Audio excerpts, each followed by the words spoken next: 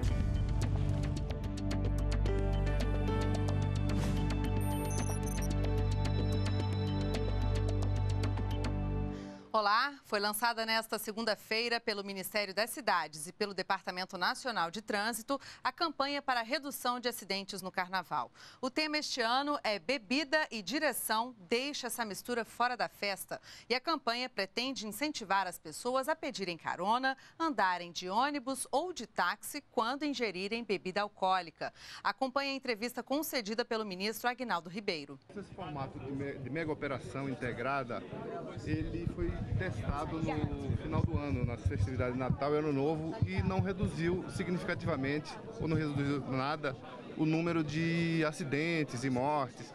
O que o faz acreditar que dessa vez no Carnaval vai acontecer? Olha, eu, eu entendo que toda operação dessa, com convergência e de forma integrada, ela reduz sim. Se nós tivemos um número que foi maior do que os anteriores, especificamente naquele período, primeiro se deu a razão de termos tido um, um, um feriado diferenciado, é, que pegou praticamente um, um fim de semana maior. E segundo, que se não tivesse havido a operação, certamente nós teríamos um número muito maior. Então não é verdadeiro a gente dizer que você retirar a operação é, não, não fará diferença. Eu acho que a diferença ela existe de forma absoluta no que se refere à operação. Nós tivemos esse exemplo nesse fim de semana, onde já tivemos um aumento, inclusive, de prisões e de autuações uh, durante o último sábado e domingo, em razão da nova lei seca, em razão do aumento da fiscalização. E esse número deve aumentar agora nesse final de semana do Carnaval? A expectativa é essa, né, no país? É, eu acho que a expectativa é que aumente, embora nós queiramos, na verdade, que haja conscientização dos brasileiros e que essa conscientização possa fazer diferença. Né? O objetivo da lei não é a punição. A lei ela serve como parâmetro para normatizar posturas.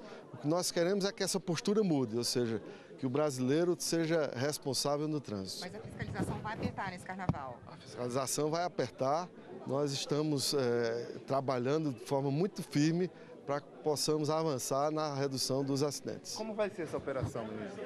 A operação será é, de forma a, a, integrar todos os ministérios, como fizemos, né, com fiscalização da Polícia Rodoviária Federal em diversos pontos, se reforçando aqueles pontos onde existe notadamente uma maior profusão né, de foliões, onde existe uma tendência maior das pessoas beberem e também com a, um trabalho de conscientização. Então é, vai, vai ser feito o trabalho de conscientização, trabalho da mídia, acho que a imprensa também, vamos parabenizar, porque a imprensa tem pautado isso de forma é, consistente e insistente. Isso será, sem dúvida nenhuma, determinante para essa mudança de postura. É, é nisso que nós estamos apostando, que a sociedade como um todo possa uh, se voltar para essa conscientização e a gente mudar essa realidade no trânsito brasileiro.